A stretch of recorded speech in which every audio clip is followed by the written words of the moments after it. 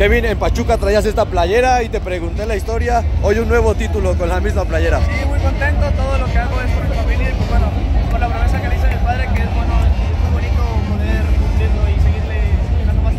Esa vez en Pachuca me dijiste que lo primero era debutar, empezar tu carrera de a poco. Hoy son dos títulos y en tu primer torneo con las Águilas ya eres campeón. Sí, muy contento. Sabía el equipo que venía y bueno, bueno, también darles la 14 por fin. Eh, eh, Kevin, se alejan dos títulos del acérrimo rival, que es Chivas. ¿Se confirma el América como el más grande? Bueno, creo que eso estaba confirmado desde antes. Entonces yo creo que este título nos da un poco más de, de, de felicidad también por, por haberlo logrado después de tanto tiempo. Kevin, ¿qué decirle a la gente que vino, llenó el Azteca ante un rival pues no tan Que sencillo? disfruten, que disfruten que tanto pedían y lo, ahora lo logramos.